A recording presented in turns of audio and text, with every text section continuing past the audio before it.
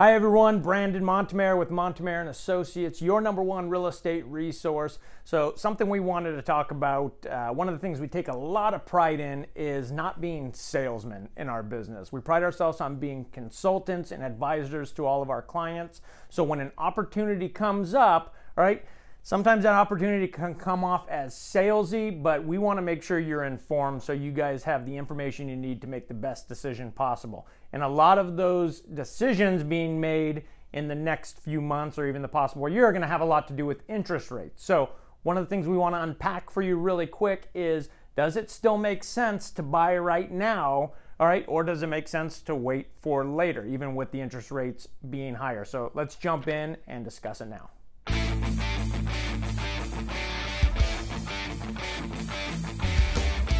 All right, so let's jump right in. So we're gonna look at a home from like nine months a year ago and that same exact home today.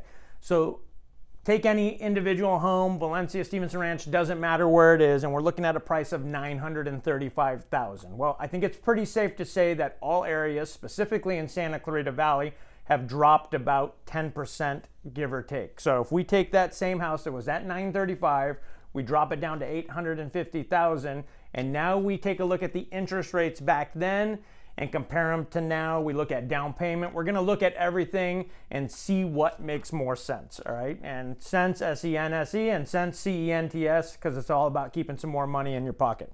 So as we look at this, and we look at the payment back then. So for a $935,000 purchase price with 20% down, all right, we're looking at a payment at a 3.5% rate of $4,436. Right, so now if we take that same home at $850,000 today, right, we have 20% down and at a 6.375 uh, percent interest rate, we're looking at $5,227. So that number is, of course, higher.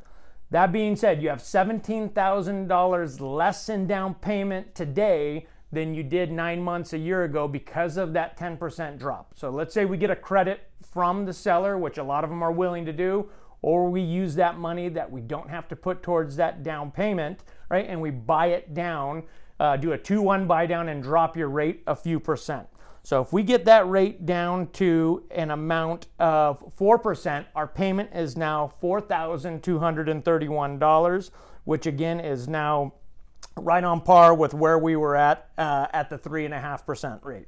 Right? And now over the two years, we got to keep an eye on the market. We got to see if we can refi. But here's the one thing we need to think about is when you buy a home at a high price like that 935, the only way to affect that price is by paying it down. When you buy a home at a lower price at that 850 with a higher interest rate, right, you can affect your price by dropping that interest rate. So we have more options and we can still get you in a very similar payment to where things were nine months to a year ago. So if you were looking at homes nine months a year ago, it wasn't the right time or you weren't able to get it because of the competition, right? We're in a spot right now, especially with the rates pulling back a little bit, where we can put you almost in an identical spot, but with more upside, the ability to refi later into a much lower payment. So we're gonna give you a little bit more of a breakdown in the uh, in the message below. And if you have any questions, would like to talk more about this opportunity with us or one of our amazing lenders, you know where to find us. Have a great day, and we'll talk to you soon.